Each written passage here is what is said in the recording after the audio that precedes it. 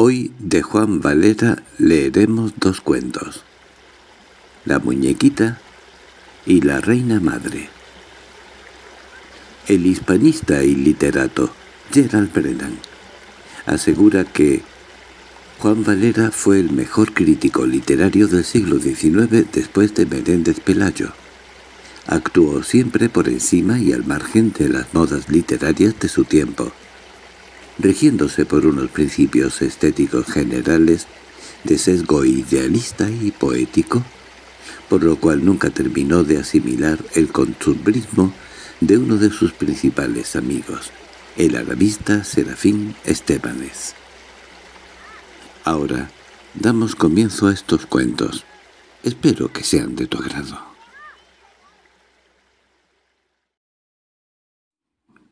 La muñequita un cuento de Juan Varela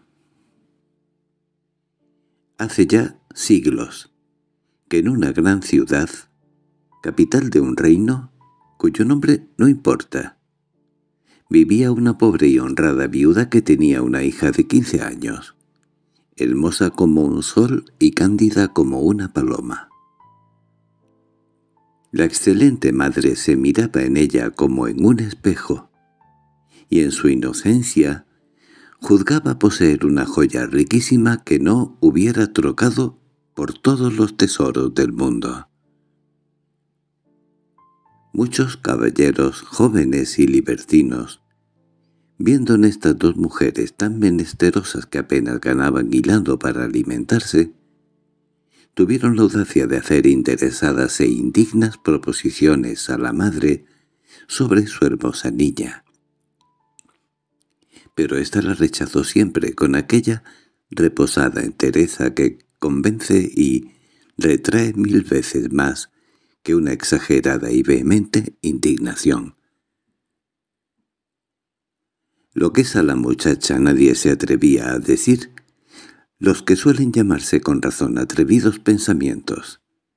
Su candor y su inocencia angelical tenían a raya los más insolentes y desalmados. La buena viuda, además, estaba siempre hecha un argos, velando sobre ella. Aconteció, pues, que la fama de las rarísimas y altas calidades de la muchacha llegó a oídos del rey, el cual, como mozo y apasionado, quiso verla, y habiéndola visto, se enamoró locamente. Su Majestad se valió, según costumbre, de su primer chambelán o gentil hombre, persona muy discreta, sigilosa e insinuante, para que interviniese en este negocio y allanase obstáculos. Pero toda la habilidad de aquel experimentado para Ninfo y todo el mar dinero en el que prometía hacer nadar a la viuda y a su hija, fueron a estrellarse contra la inaudita virtud de ambas más firme que una roca. El ultimátum con que se terminaron tan importantes negociaciones estaba concebido y expresado en estos términos por la buena de la viuda. Si su majestad quiere venir a mi casa con el cura, que venga cuando guste. Mi hija tendrá mucha honra ser la reina, su esposa. Pero si su majestad piensa que ha de lograr algo de otra suerte, se equivoca muy mucho. En una época de severas virtudes, ya no de virtudes severas, de sentimientos democráticos, aquella contestación hubiera sido aplaudida. Mas entonces había tal corrupción en las costumbres y era tal el espíritu aristocrático y de subordinación a las altas jerarquías sociales que el rey, los cortesanos, las damas y pueblo todo, para no indignarse de los humos de la viuda y de su hija, determinaron reírse y declararlas tonti locas, llamándolas las cogotudas hambrientas, las reinas andrajosas, las pareciendo por su gusto y otros dictados y títulos de escarnio. No podían las tristes tocar siquiera el andito de la casa en que vivían sin ver poco menos que silbadas y abochornadas. Cuando iban a misa los domingos decían las comadres al verlas pasar. «Ahí va la reina, miren qué majestad y qué entono. ¿Cómo puede ir tan tiesa con el estómago vacío?» Con lo cual, y con otras frases del mismo género apuraban y hacían llorar a la chica que era más bendita que el pan y que no sabía soltar la lengua y contestarle su merecido. Ella y su madre tenían una paciencia y una dulzura a toda prueba y nunca se exacerbaban por los malos tratamientos, ni se arrepentían de haber despreciado tan buena ocasión para hacerse ricas. La muchacha, no contenta con ser sufrida y perdonar las injurias, era en extremo amorosa para todos. A los mismos seres inanimados o al parecer inanimado se extendía su caridad. Amaba las flores, los árboles, las estrellas, las nubes y hasta las chinitas del río. A nadie le hacía daño. Antes procuraba hacer todo el bien posible. Mas esto no mejoraba, sino que empeoraba su suerte. No teniendo ya quien le diese que hilar para mantenerse, tuvo que ir a trabajar al campo en compañía de su madre, donde, cogiendo aceitunas, espigando, o en otras más recias faenas se tostaba su linda cara con los rayos del sol, se engallecían sus blancas y delicadas manos, y se entristecía su alma, oyendo que de continuo la llamaban por mofa la reina. Un día esta infeliz, que estaba escardando en una aza, sacó de la tierra al revolverla con el almocafre una muñequita muy vieja, estropeada y sucia y desnuda, pero en vez de despreciar a la muñequita y apartarla de sí con asco, la miró con la más tierna compasión, la tomó en sus brazos, la hizo mil cariños y la llevó a su casa.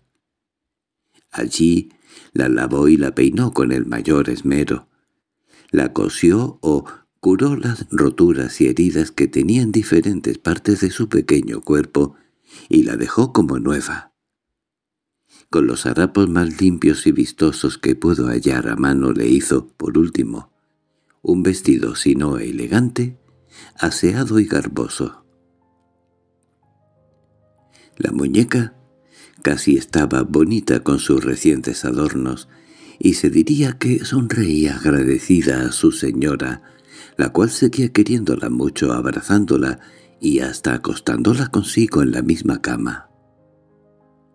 Animada la muñeca con los repetidos y extraordinarios favores que le prodigaba su ama, acabó de perder la cortedad, y por las noches con mucho recado, y cuando la viuda estaba durmiendo, porque la viuda dormía en el mismo cuarto que su hija, rompía a hablar y tenía con la muchacha las más agradables e inocentes conversaciones. La muñeca pedía a veces algo de comer, y la muchacha buscaba para ella lo mejorcito que había en la casa. Es innegable que todo esto tenía bastante de sobrenatural. Mas, para la candidez de la chica, única persona que lo sabía, lo natural y lo sobrenatural eran una misma cosa, que no despertaba en su espíritu ni sobresalto ni extrañeza.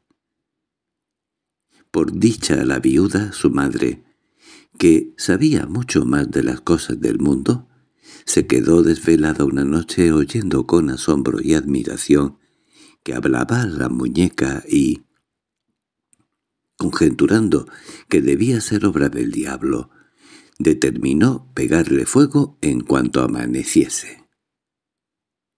La viuda hubiera indudablemente realizado tan cruel proyecto si su hija, con lágrimas y ruegos, no la hubiese disuadido.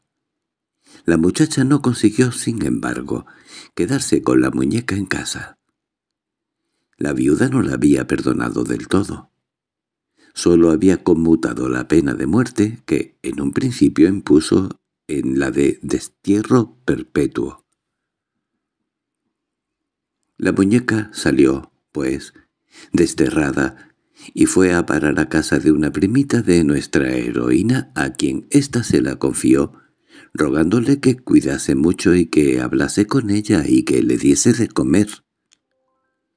La primita prometió hacerlo así, mas no por eso dejó de estar a la mira su verdadera dueña que iba de vez en cuando a visitar a la muñeca que estaba en la cueva y en la nueva casa cuando tuvo lugar un suceso, si no del todo inesperado, un poco extraordinario.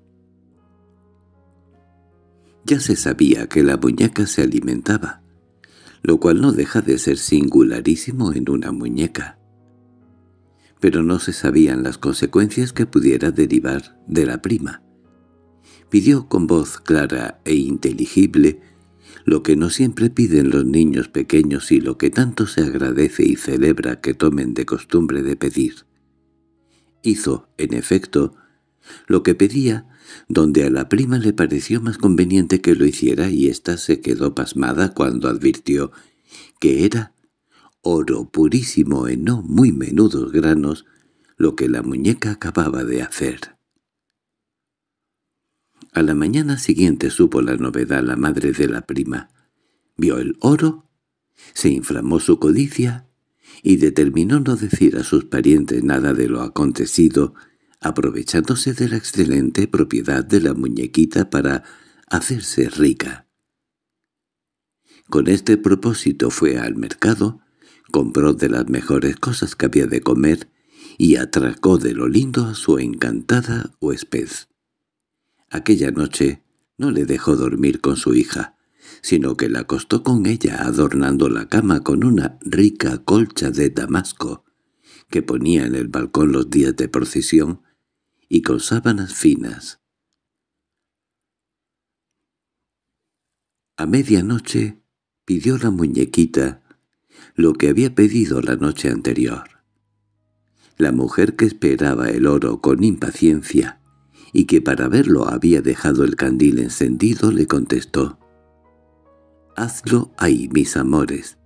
Y no bien lo dijo, la muñequita empezó a hacerlo en gran abundancia, pero ¿cuál no sería la ira de aquella avarienta mujer cuando notó, vio y olió en su veste la materia que esperaba, otra del todo diversa y desagradable al olfato? En su furor, Agarró por una pierna la muñequita y le dio de golpes contra las paredes. Abriendo por último la ventana de su alcoba, la tiró por ella con violencia tan prodigiosa que la pobre muñequita anduvo por el aire más de tres o cuatro minutos, y fue al cabo a dar con su magullado cuerpo en el corral del palacio. Llegó en esto la mañana, y el rey que solía enterarse a los mayores excesos sin respeto a Dios ni a los hombres, se despertó con muy mal salud, y como es natural, bajó al corral a desahogarse un poco. Se ignora si fue casualidad o providencia, pero es lo cierto que el rey se puso a hacer lo que era necesario justamente encima de la muñeca. Allí fue ella, la muñequita, incomodada, le agarró un bocado feroz. El rey creyó que era algún bicho y salió corriendo y gritando, porque le dolía lo que no es, se puede decir. Vinieron todos los cirujanos de cámara, y no pudieron conseguir que la muñequita soltase su presa. El rey ponía el grito en el cielo y a cada momento se sentía peor. La reina madre estaba tan desconsolada que se le podía ahogar con un cabello. Todos empezaron a temer por la vida del rey. Entonces no hubo más remedio que publicar un bando en el cual se decía que se daría los premios más exorbitantes al hombre que curase al rey, y que éste, arrepentido ya de su mala vida, quería casarse si Dios le sacaba con bien de aquella enfermedad y prometía su mano de esposo. No morgánicamente, sino con todas las prerrogativas anejas a cualquier mujer que tuviese virtud bastante para liberarle de aquella odiosa muñequita que no le dejaba tomar asiento en el trono, y que tenía postrado en la cama echado espumajos por la boca, como hombre entregado a todos los diablos. No hay que jurarlo para que todos lo crean. Era un diluvio de personas de ambos sexos las que, incitadas de tan enormes recompensas, vinieron a curar al rey, pero fue en vano. Ninguna lo consiguió. Al fin, nuestra pobre amiga, la escarnecida ama de la muñeca, más por caridad y singular afecto que al rey tenía, a pesar del delito de éste en quererla seducir y en burlarse de ella, no habiéndolo logrado, que con intención de llegar a ser reina vino a palacio como un ángel bienhechor, tocó a la muñequita, le habló cariñosamente, y la muñequita soltó lo que tan apretado tenía. Agradecido el rey a tanto favor, se casó con nuestra amiga. Así triunfó su virtud y su inocencia. Los que por burla la llamaron reina, tuvieron que llamarla reina de veras. A la excelente viuda le hicieron princesa de la sangre, con título de Alteza Serenísima. Al primer chambelán o gentilhombre lo pasearon por la ciudad, caballero en un burro y emplumado. Y en cuanto a la muñequita, solo tenemos que añadir que, cumplida ya su misión, dejó de hablar, de morder y de hacer demás operaciones impropias de una muñeca.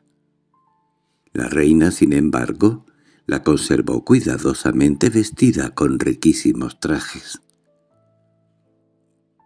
Aún en el día, después de tantos siglos como han pasado, la muñeca se custodia y muestra a los viajeros en el Museo de Antigüedades de la capital en que estas cosas acontecieron. Fin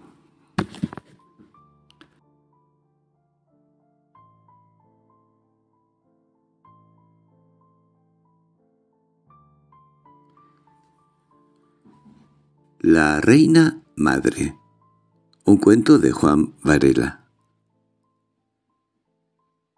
En un pequeño lugar de la provincia de Córdoba vivía un pobre labrador joven y guapo, cuya mujer era la más linda muchacha que había en cuarenta o cincuenta leguas a la redonda. Fresca y robusta, estaba rebosando salud, y tenía tan apretadas carnes que según afirmaba su marido, era difícil cuando no imposible pellizcarle. Su pelo era rubio como el oro y sus mejillas parecían amasadas con leche y rosas. Marido y mujer se idolatraban. Hacía poco tiempo que estaban casados. Siempre se estaban arrullando como dos tórtolos, pero aún no tenían hijos. Ambos eran tan simpáticos que contaban con multitud de amigos en la vecindad y aún en todo el pueblo. Llegó el día en que el marido cumplía treinta años y la mujer de acuerdo con él quiso celebrar la fiesta, agasajando a los vecinos más íntimos con un opíparo claveamus. Aunque ellos eran pobres, no carecían de recursos para satisfacer tan generoso deseo. Iba a terminar el mes de noviembre y acababan de hacer la matanza de un cerdo. Tenían, pues, exquisitas morcillas y lomo fresco en adobo. Habían criado y cebado además una magnífica pava. La mujer la preparó distramente, le rellenó el buche con los menudillos, con castañas, alfónsigos, riñones y otros sabrosos condimentos y especias, y la asó, o más bien la frió en una enorme cazuela. Ya todo preparado para la cena, que debía de ser a las nueve de la noche, acudieron con puntualidad los convidados y fueron recibidos por los gallardos y amables esposos en la amplia cocina de la casa, que estaba en el piso de abajo y que era también comedor y estrado o sala de recibimiento. La mesa se veía en el centro cubierta de blancos y limpios manteles y aderezada con flores y frutas. Un resplandeciente velón de lucena, con los cuatro mecheros encendidos daba luz a la mesa, y dos candiles de hierro, colgados de sendas tomizas, iluminaban el resto de la estancia, cuyas paredes tenían por adorno cabezas disecadas de ciervos y de lobos, algunas escopetas de caza, dos jaulas de perdices, una tablilla con palillo y cimbel, y varios peroles y cacerolas de azófar, colgadas de alcayatas, y tan fregados y lustrosos que relucían más que venecianos espejos. La chimenea era de campana, de suerte que en el hogar avanzaba bastante y en él estaba la comida ya lista, sobre el rescoldo, para que no se enfriase ni se quemase. El joven matrimonio no tenía criado ni criada. Ellos mismos se servían. La mujer había dejado apagar el fuego. Solo había algunas brasas y cenizas faltando el calor y la alegría de la llama. Aquella noche hacía mucho frío, y caía abundante nieve en la calle. Los convidados habían llegado casi tiritando y con la ropa algo mojada. Para mayor regalo y deleite, decidió entonces la mujer encender un buen fuego. Fue al corral y trajo algunos palos de olivo, sarmientos y pasta de orujo. Lo colocó todo en el hogar muy bien dispuesto para que ardiese. Pero todo estaba húmedo y no ardía. La pobre mujer bregaba no poco, y en balde para hacer arder la leña, y como no tenía esportilla ni fuelle con que agitar el aire, se agachó y empezó a soplar furiosamente, pero nada, no conseguía que la llama se levantase. Enojada entonces, sopló con triple furia, y aunque tenía buenos pulmones y salía de su boca como un vendaval, no lograba su objetivo. Apretó por último mucho más el soplo, y con el violento esfuerzo que hizo, se le extravió el aire y tomó una dirección enteramente contraria. Por alguna parte había que salir, y el aire salió de súbito con tan tremenda sonoridad por muy distinto respiradero que retumbó en la estancia como un cañonazo. Aunque con acento tan claro, tan inimitable y tan propio, que con nada podía confundirse ni equivocarse. Los tertulianos no pudieron menos que oír aquella música estrepitosa y de comprender el oculto instrumento que la producía. Así es que, sin acertar a contenerse, prorrumpieron en la más desaforada risa. Fue entonces tan horrible la vergüenza de aquella excelente mujer que exclamó desesperada. «Ojalá se abra la tierra y me trague». Oh, estupendo prodigio, la tierra se abrió en efecto y se tragó a la mujer. La risa de los tertulianos se convirtió en asombro y en lamento. El marido desolado, nuevo Orfeo de aquella Eurídice, buscaba a su mujer y no podía hallarla. La mujer, tragada por la tierra, se encontró de repente a la puerta de una rica y populosa ciudad donde todo florecía, brillaba y era regocijado y ameno. Los habitantes discutían por calles y plazas, vestidos con suma elegancia y con trajes caprichosos y fantásticos. Suaves músicas sonaban por donde quiera. Era día claro. El sol brillaba casi en el cenit. Sus rayos doraban el aire, reverberando en las pintorescas fachadas, en los muros, en las silvestres torres y en las graciosas cúpulas y gigantescos cimborrios de casas, alcázares y templos. Se hallaba ya nuestra lugareña cordobesa, en el centro de la ciudad y en medio de una magnífica plaza, cuando la gente empezó a agruparse formando círculo en torno a ella, con muestras de profundo respeto y de entrañable cariño. echaron luego los sombreros por el aire y empezaron a gritar con entusiasmo. «¡Viva la Reina Madre! ¡Viva la Reina Madre!»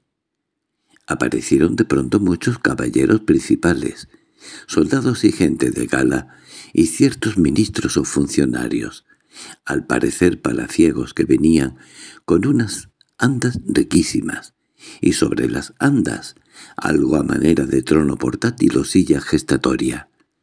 Los más autorizados y pomposos de aquellos personajes rodearon a nuestra heroína haciéndole mil reverencias, genuflexiones y otras señales de acatamiento. La revistieron de una preciosa túnica razagante y de un manto de tela de oro y colocaron una corona real sobre su cabeza.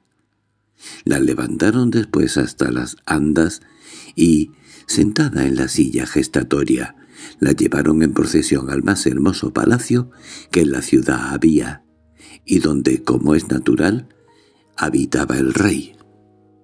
Subieron todos la monumental y amplia escalera entre dos filas de coraceros de la guardia. Recorrieron luego con gran prosopopeya larga serie de áureos salones, en los cuales resonaba agradable música de instrumentos de viento, y al fin se encontraron en el Salón del Trono, cuya disposición arquitectónica era inusitada y rarísima, porque la bóveda, que formaba el techo, no era una media naranja, sino dos, en medio de las cuales había una estrechura y en medio de la estrechura una hermosa claraboya redonda por donde entraba la luz cenital que todo lo iluminaba. Sería imposible describir aquí el lujo y la gala de los señores de la corte y de los altos designatarios que rodeaban el trono y de la deslumbradora riqueza del trono mismo. Baste decir que él estaba sentado con corona y cetro. Un joven rey, hermosísimo, rubio como las candelas, gracioso, robusto y alegre, el cual apenas vio entrar a nuestra heroína cordobesa, cuando descendió del trono y casi con lágrimas de alegría y con acento conmovido y sonoro, exclamó estrechándola entre sus brazos y cubriéndole el rostro de besos. «¡Oh, adorada madre mía!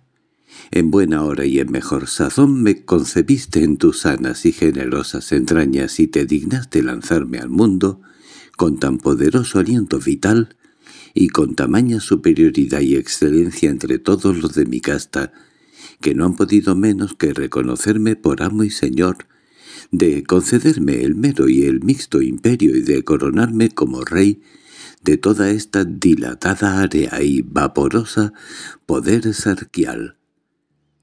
Después de este cariñoso desahogo de su majestad retumbante, la reina madre fue por él espléndidamente obsequiada con un regio banquete, donde se sirvieron palominos en abundancia, condimentados en diferentes salsas y de postres deliciosos y ligeros suspiros de canela. De sobremesa, y arrullada por una música dulce, la reina madre se quedó dormida. Cuando se despertó, se halló de nuevo en su casa, en su cama y al lado de su marido. Cuanto había visto se le figuró entonces que era un sueño. Pero pronto se convenció de que no había sido sueño, sino realidad. Fue a la despensa a tomar habichuelas para guisarlas y almorzar aquel día. Más de dos fanegas de esta semilla tenía en grandes orzas, y había sido tan frecuente su alimentación de tan explosivo comestible que a él atribuía nuestra heroína el percance de la noche anterior. Cuán grande no sería su sorpresa y cuán inesperado no sería su regocijo cuando al ir a tomar las habichuelas, que estaban en las orzas, se encontró con que eran todas de oro finísimo. Para mayor claridad en cada orza había una planchita de oro también, y a modo de tarjeta sobre la cual estaba escrito con letras de diamante «El rey de Pordesarquía, emperador de la Eolia Occidental, en prueba de agradecimiento a su querida madre. Inútil es encarecer el desahogo, el regalo y la opulencia con que, de allí en adelante, vivió el joven matrimonio de que trata la historia. Tenía la reina madre, ya que con este título la conocemos, una amiga de la infancia a quien amaba de corazón. La amiga, sin embargo, era harto indigna de tan noble cariño.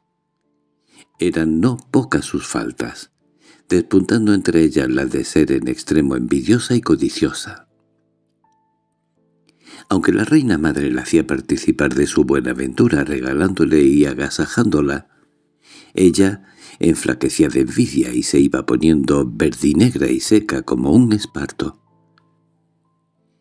Con villana astucia e infame disimulo, logró al cabo que la reina madre le explicase el origen de su bienestar repentino. No bien lo supo, dijo para sus adentros. Pues yo no voy a ser menos. Y en efecto, convidó a la vecindad, preparó el festín y cuando los convidados estuvieron reunidos se agachó y se puso a soplar el fuego con un poco ímpetu pero le sucedió al revés que a la reina madre. Levantó llama en el hogar, y aunque apretaba y se esforzaba no conseguía que el instrumento sonase. Siguió apretando con violento y desesperado ahínco, y al cabo logró producir un sonido tenue, lánguido, atiplado y miserable. Entonces dijo, «Ojalá se abra la tierra y me trague». «Oh, prodigio no menor que el realizado con la reina madre. La tierra se abrió también, y se tragó a su amiga. Hasta aquí fue suceso semejante, pero después cuán diferente. La amiga envidiosa y codiciosa se encontró en la capital de Pordesarquía, pero se quedó en extramuros. Los guardias que defendían la puerta de la ciudad la llamaron ruin, plebeya y raposa, y no le dieron entrada. Un tropel de pordioseros sucios y desarrapados, y de mendigos enfermos la acercaron, tratándola con furia y desprecio, y la llevaron a un inmundo muladar. Allí estaba postrada una criatura feísima, encanijada, diminuta y enfermiza que inspiraba compasión y asco. Este pequeño monstruo, este abominable microbio se abalanzó a la amiga envidiosa. Se le colgó al cuello y la besó con su boca sin dientes, cubriéndola de apestosas babas. «Oh, ilusa madre mía», le dijo, «avergüénzate y humíllate al contemplar en mí el vil engendro de tu envidia y de tu codicia, por cuya virtud me has concebido en tus entrañas de víbora. Yo soy tu viborezno, pronto tendrás lo que mereces. Con la repugnancia y el susto la infeliz mujer cayó desmayada. Cuando volvió en sí, se encontró en su casa de nuevo pero se llenó de horror y tuvo ganas de huir de su casa. Mucha parte del muladar en que había visto a su hijo se había trasladado a su casa como por encanto, y en aquella basura bullían, hervían y se agitaban billares de sapos y culebras, y un negro ejército de curianas y de escarabajos peloteros que fabricaban y arrastraban hediondas bolitas.